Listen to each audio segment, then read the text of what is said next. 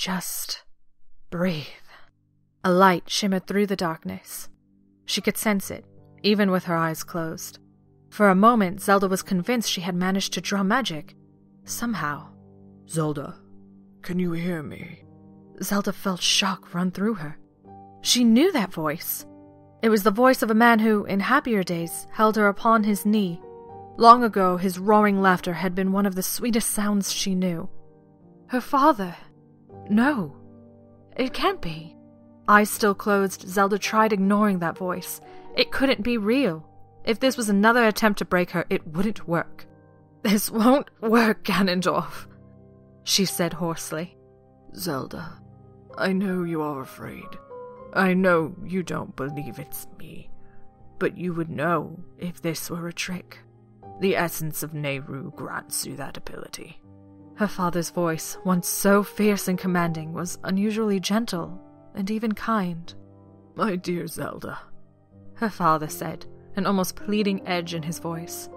I know you are angry with me, and you have every right to be. The world I have left you, a shattered kingdom, was not the inheritance I meant for you to have. Please, child, are you too ashamed of what I've done to look upon my face? Drawing a deep breath, Zelda opened her eyes and raised her head slowly. Zelda was looking at her father's shade, a spirit bound to the realm of the living by regrets of a lifelong lost. Her eyes met his own. King Nohansen didn't seem the imposing figure that Zelda had known in the years after her mother's death. There was a sense of sadness and regret in his eyes that she hadn't known before. Now you come? she asked, wincing at her bitter tone. After everything that has happened, you come now? Nohansen's face was pained. I wanted to speak to you, but the goddesses forbade it when they sent me back. This was a punishment for what I had done. Yet you disobey them again? Zelda asked. Goddesses. Her voice was frightfully cold. I was never good at following the codes the goddesses gave us, even though I swore to uphold them as a king. No Nohansen replied.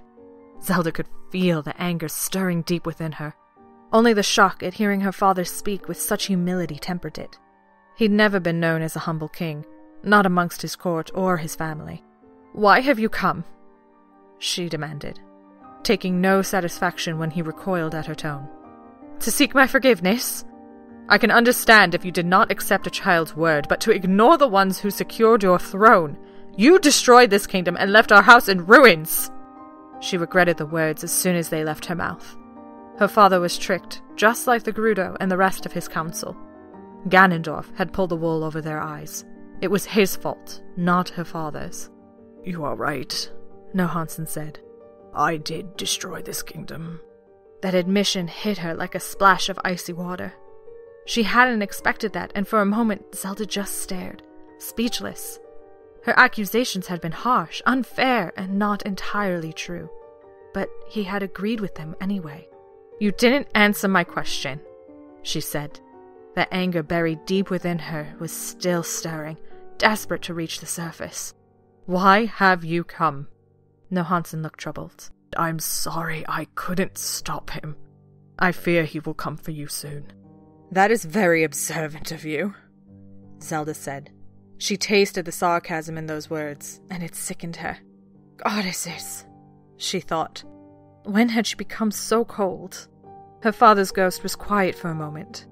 Zelda, he said softly, please, let me help you. Zelda did not meet his eyes.